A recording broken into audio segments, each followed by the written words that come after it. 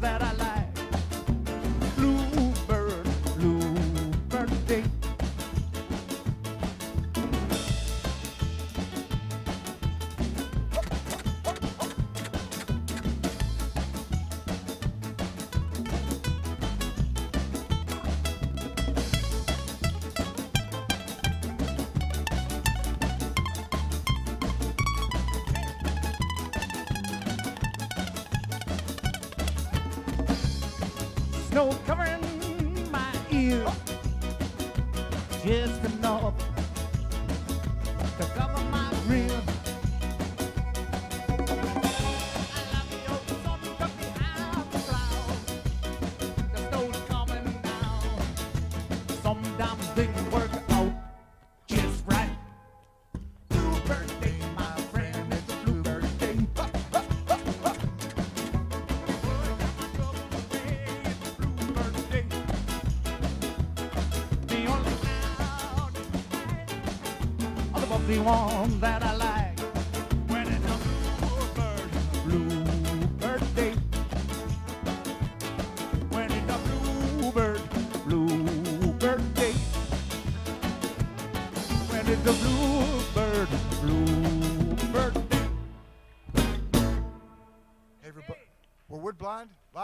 Auditorium. This next song is called The Queen of the Iron Range.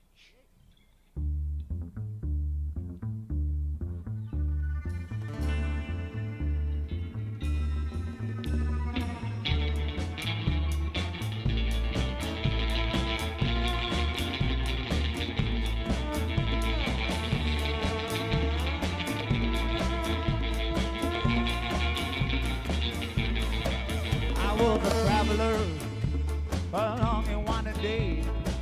Off-road land, I lost my way, I was a wanderer.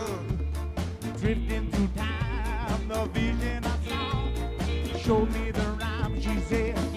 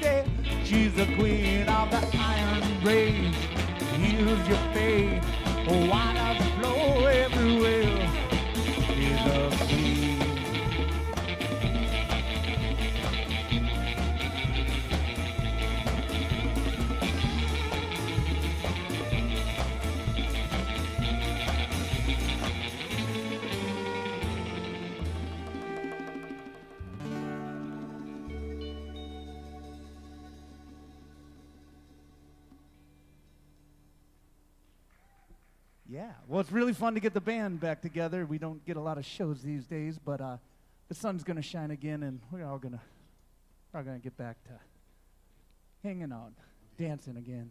Someday the shine's going to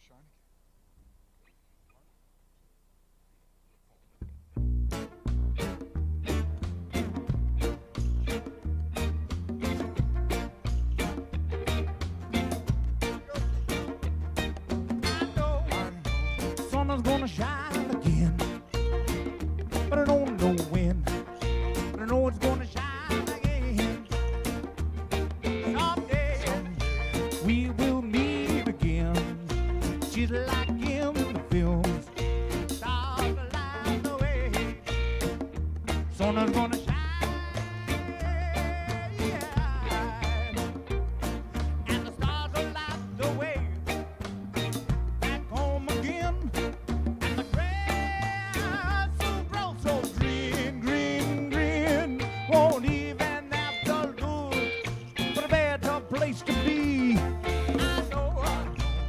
is going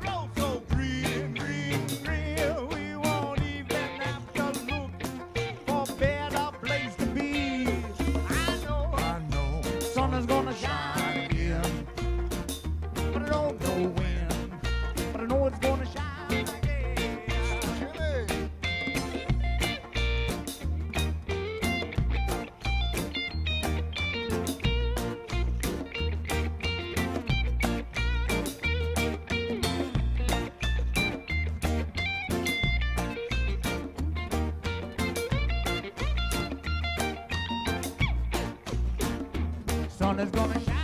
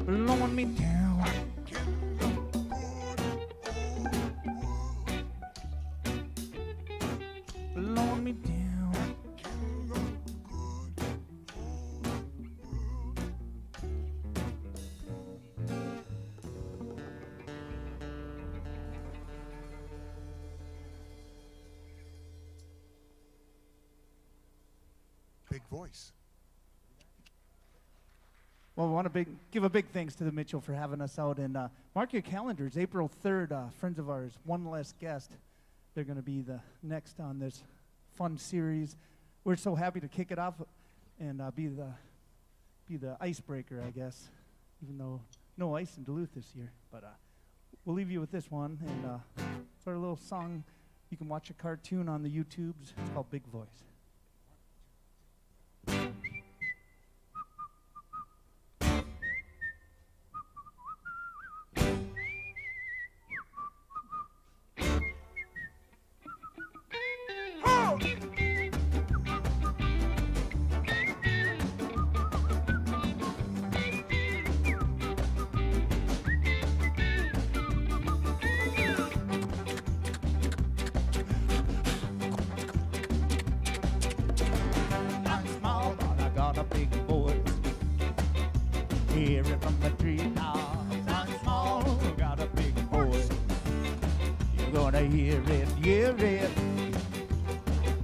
But even if you don't, But that's okay. Everybody's got a lot to say. But if you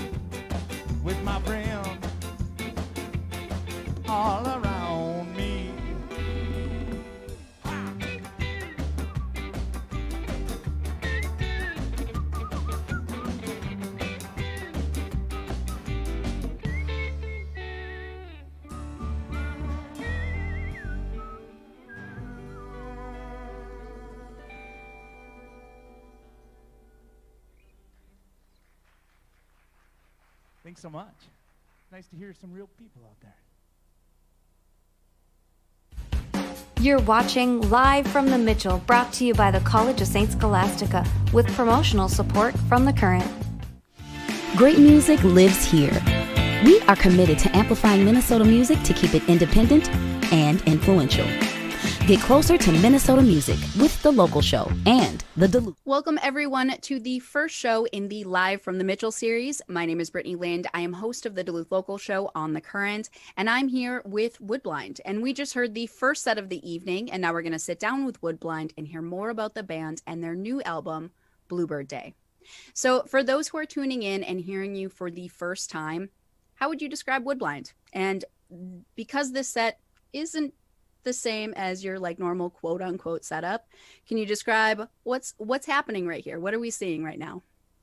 Well, we normally perform as a duo, uh, but um, a lot of times we like ska bands are more traditionally larger with horns and percussion and multiple guitars, and sometimes we like to pull a, a, a larger band.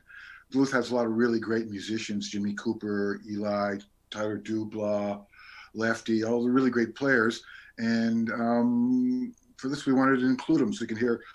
You know, we write the songs. We hear the songs as you heard, just heard them, but sometimes we write them just as a duo in the garage. in the garage, my garage. and then if we can, you know, sometimes it's a budgetary constraint. Uh, but when we can have people have a larger band, we will add that as we can. we love the big band. Yeah, this, this is our favorite band, and Reggae Fest two years ago. It seemed like last year. Yeah, sure does. Anytime we can get this group together, this is the band we want to play with. Yeah. Yeah. So um, what we play is ska, which uh, people ask us, well, what is ska? Ska is the music from the Caribbean and Jamaica, more particularly, that occurred between calypso and reggae. So from like the late 50s to the mid 60s is when ska was predominant. Um, what I would like to tell people is if you know any of the old James Bond movies, think about the movie Doctor No, and that Yeah. was the period. There's a, a ska version of Three Blind Mice in the beginning of that, so that'll give you kind of a time frame when this was really popular. But like a lot of styles, it, it travels and grows, and there are a lot of elements that we do as calypso. A lot of them are some of the elements are reggae or dub.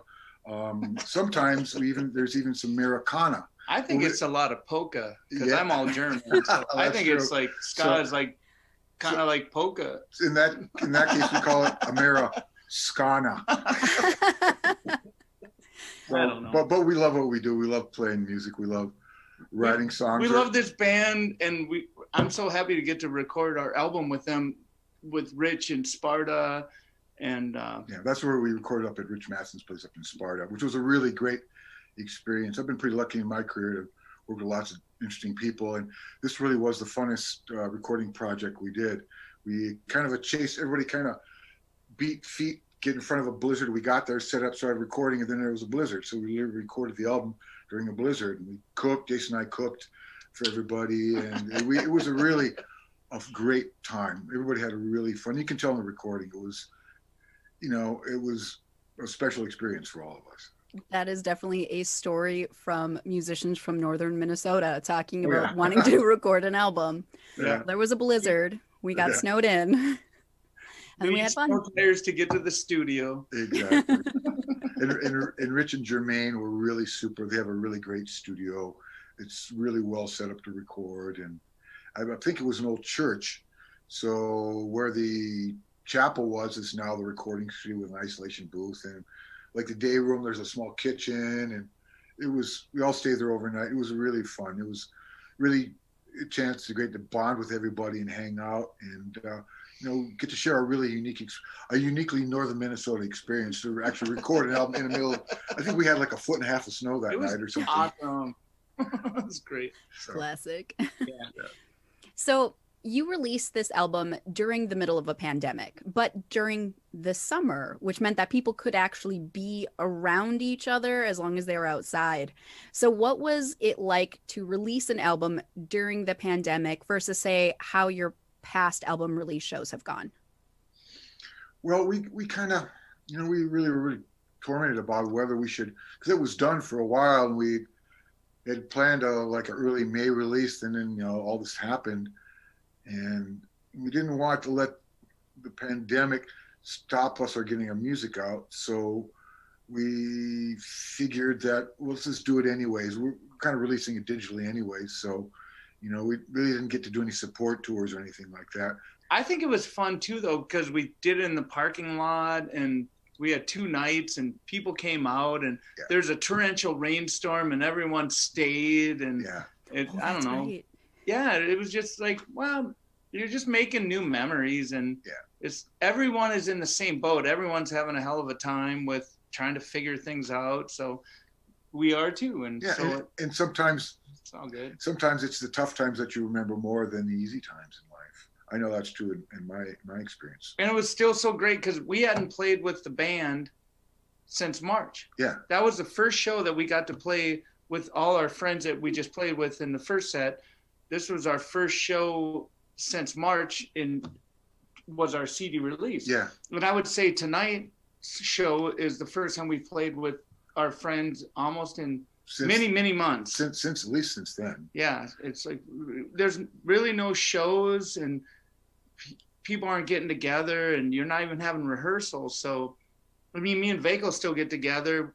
We're, we're in a bubble apparently, and we still hang out in Viekko's garage and start a fire and write tunes and goof off. And Yeah. but Do it's really great to get the whole band together and Yeah. and do, do the big show. It's fun. Okay, it's nice to like I said, we, we write these songs together. Uh, when we write them, we can hear them with a fuller band. You know, they can be played as a duo, or they can, you know, some of these things I've envisioned with an orchestra. If we could afford it, I would love to do that someday. Uh, but yeah, he's right. It's just nice to get out. Never say die. You, you know, the sun is going to shine again someday, no matter how dark it seems. Exactly. That's, So, that's, go ahead. Speaking of your your bubble, I heard a little something about something you like to call soup and a song. Could you tell us about soup and a song because I don't know what that is, but it sounds like something I'd be into. Well, uh, we've been toying with this idea for a long time, actually. Well, As know- was the soup guy. At, when- when- we're both soup guys. people don't know, but Jason owns a really great coffee shop in West Duluth. You should come on by. Wussow's Concert Cafe. so we would think, well, what can we do? Because we're not really playing shows, but we want to keep our creative energy. Because Jason and I like to create. We, we, have, we work really well together. He's my dearest friend in the world. so we're thinking, well, we make soup and we write songs. So, you know, why not have a a, a musical cooking show? And it's Well, Viekko's been saying this for like two years. Like, we Yeah. should do soup and a song. It's like we'll make a soup, and when it's simmering, we'll play a song, and we'll record this video, and we can have soup and a song. yeah, so this like is a, perfect 10 time to do that. But we were always so busy. It's like, I mean, in 2019, I bet we played almost 200 shows. Oh, easily. so it's like, well, yeah, someday. And then it's like pandemic. It's like, well, We we got got, the some time. we got the time. It, I think well, people will really enjoy it. You know, I've been listening to a lot of Bob Ross recently, so and we're Listening put, to. we're, we're watching. Well, I fell asleep to him, and we're gonna put across the screen all the ingredients right now. So, are you going to make it so that people can follow along, like an actual cooking show? Yeah, exactly. That's awesome. We have cooking Love shots, that. setting up stuff, and like first thing we do, we wash our hands. Because everybody should wash their hands before they cook. And which So- is what people should be doing anyway. in Yeah, general. exactly. So you know, like I said, I've been I've been watching a lot of Bob Ross. He's kind of get his shtick down, different cooking shows, and there's actually Bob Ross is not a cooking show. I know, but he's got a great delivery. He's so kind and he's such a he's, he's so positive, man. And now we're gonna add a happy little turnip. Exactly. And some happy little got some happy little rutabagas, And some happy turnip greens. We're we're having fun, you know. We don't we don't we don't take ourselves too seriously.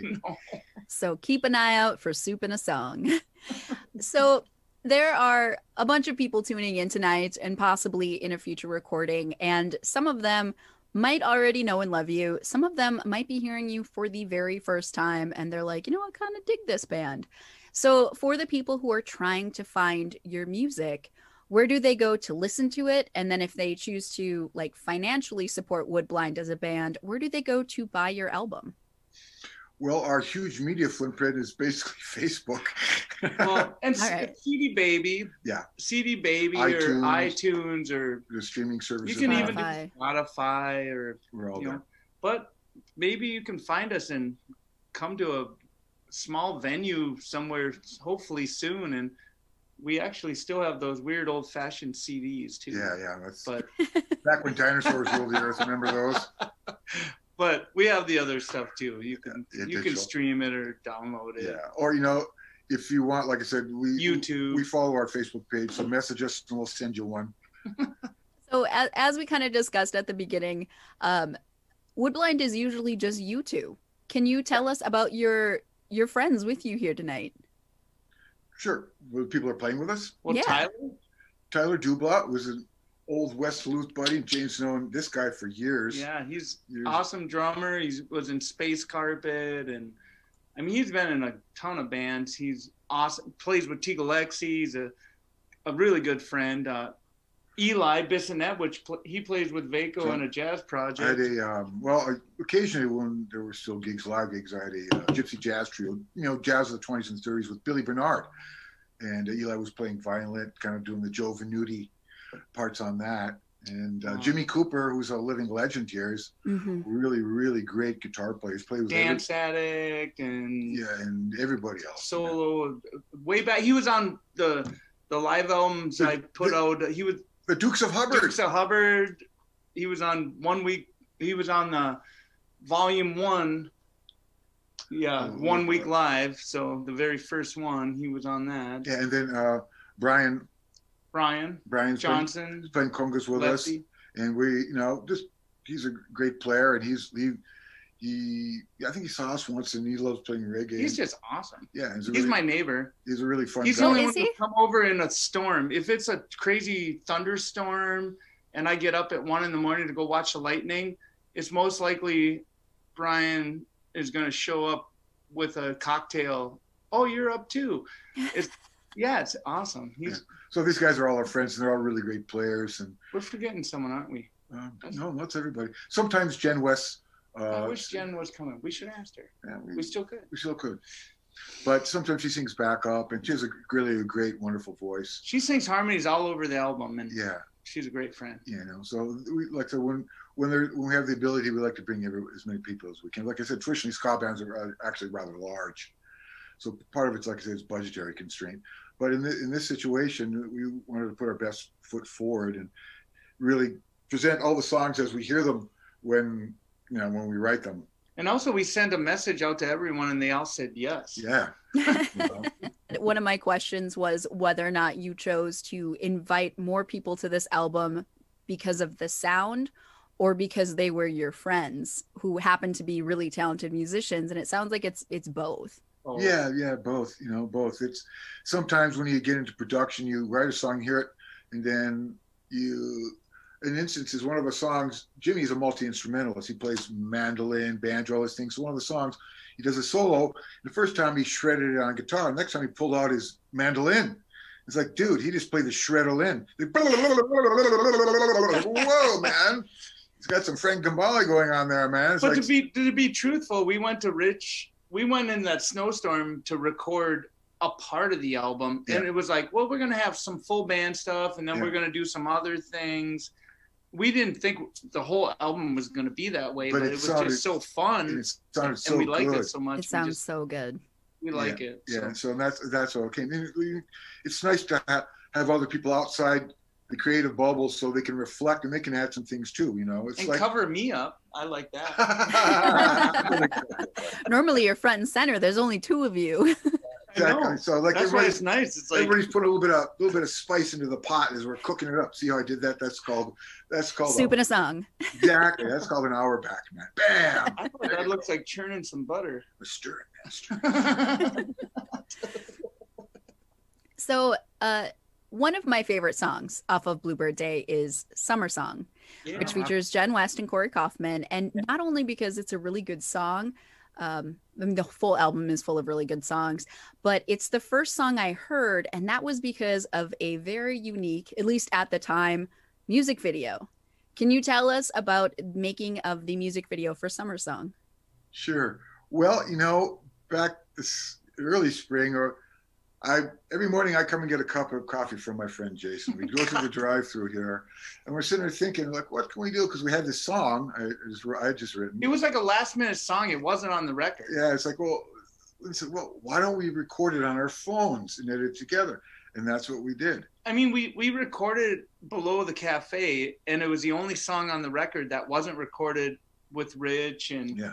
It it was like our own little. It was like a afterthought. But Viekko had this cool song. And we were in the garage, and we kind of worked it up, and we're like, well, it'd be cool if Corey came over.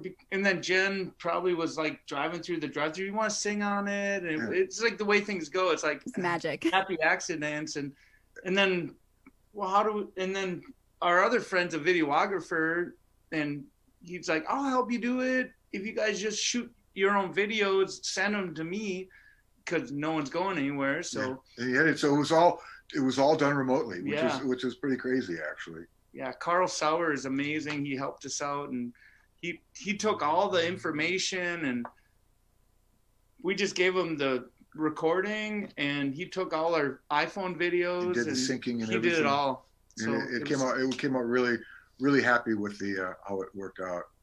And you I- don't even know what you're gonna get because you're like doing your own it's it's weird it's like a selfie video it's like Right. this seems super dumb but then when you see it all together it's like well that's not so dumb that's, i can i can live with that I mean, a l- l- lots of artists right now are trying to be creative in the constraints of the way the world is right now, and that's you know it's like Zoom.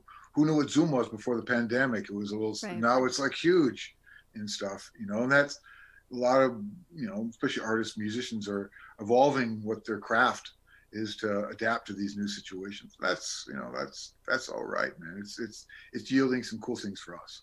for That's sure. awesome. I didn't realize that that was an like a an added on later. it later. was an add-on It yeah was it was an add-on.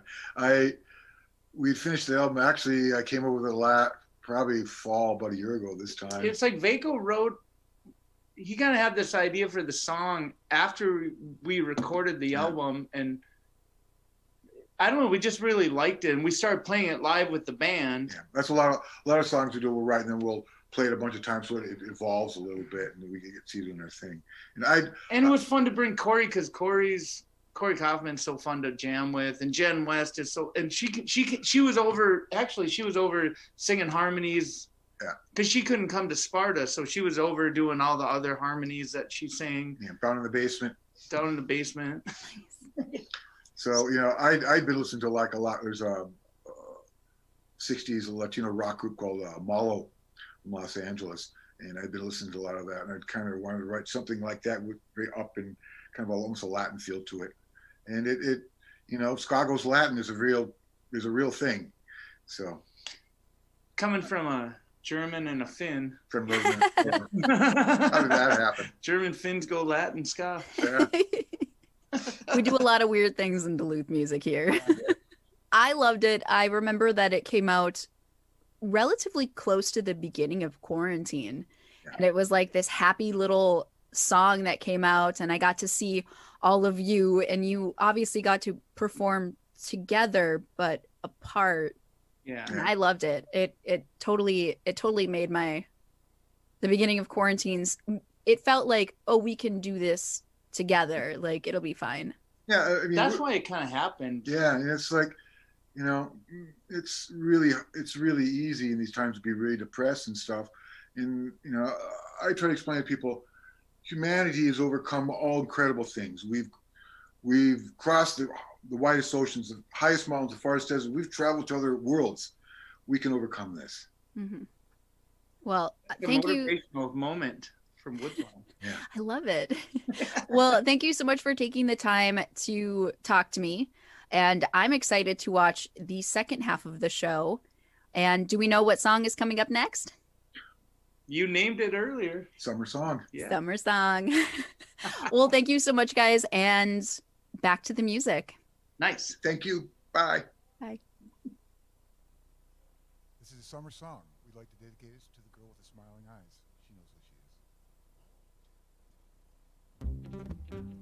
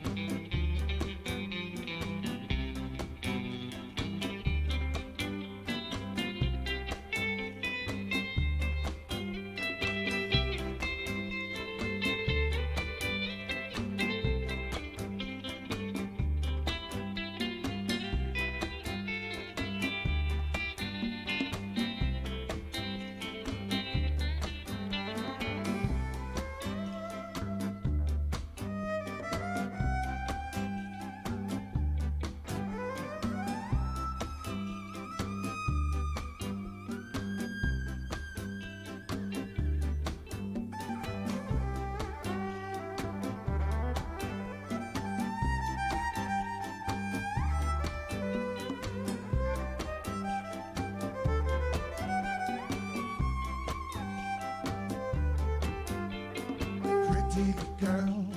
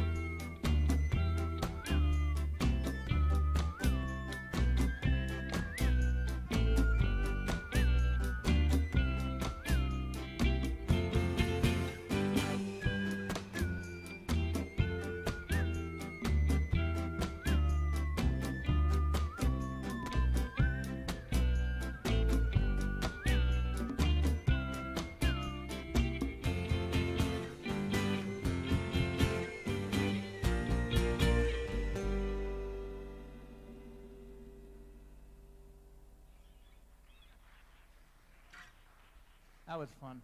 We did that song on the record. Uh, these guys weren't on that. It was an afterthought, but I like that version Very just much. fine. Well, Jason, let's play another one. Yeah, this goes out to all our friends out there brewing those good beers, those good ciders, even those root beers. Exactly.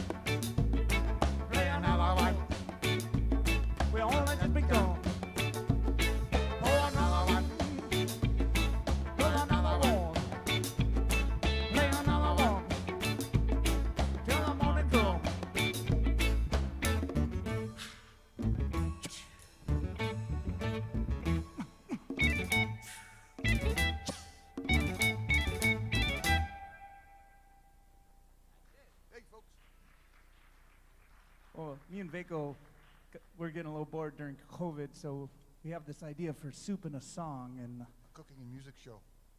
We've gone as far to take these cool shirts, these guayaberas, and we took two of our oldest ones, and our friend Darren Wallace made them into aprons. They look great. And uh, that's about as far as we got. But we're going to try to this make some soups, play some songs. Here's the theme song. Yeah, this is the theme song. We did record this.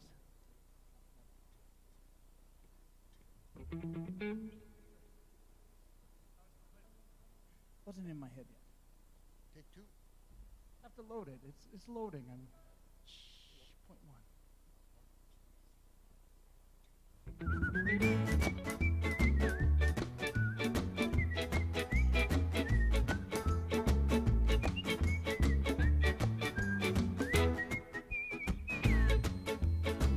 Watch pot, a dozen boil. Coffee pot's gonna boil over. Rusty pot's gonna leak right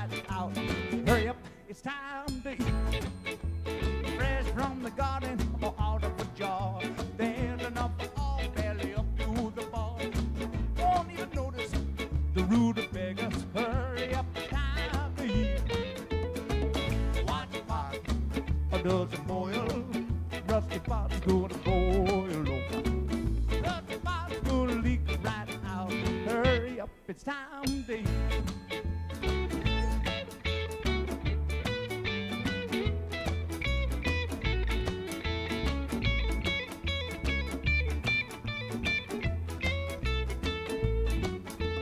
Cook it on the car cook it on the grill.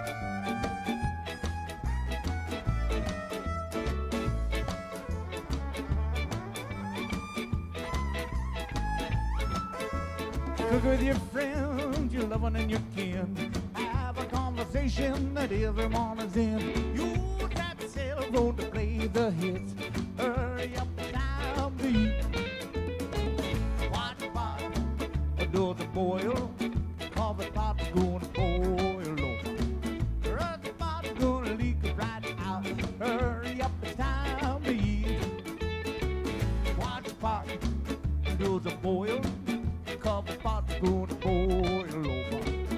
Rusty pot's gonna leak right out. Hurry up, it's time to eat. Oh, it won't take long for soup and a soup. Thank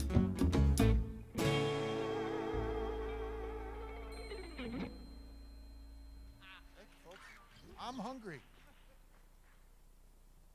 Well, we love this town. We love Duluth. We're so happy to be here. The song Jason wrote about it. The zenith city of the unsalted sea.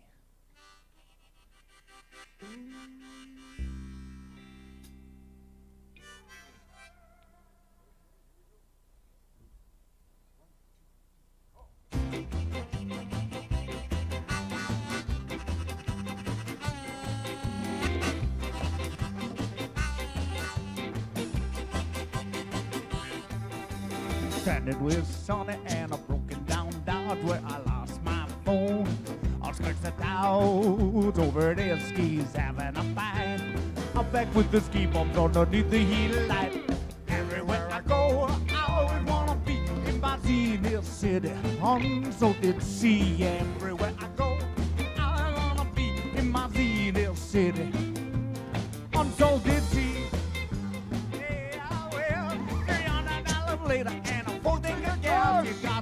Leave one dusty city the next on the map. Second Street in Santa Fe, the Cowgirls Bar. All oh, Route 66 and all the most motels. Everywhere I go, I always wanna be in my zenith city. Unsalted sea. Everywhere I go, I always wanna be in my zenith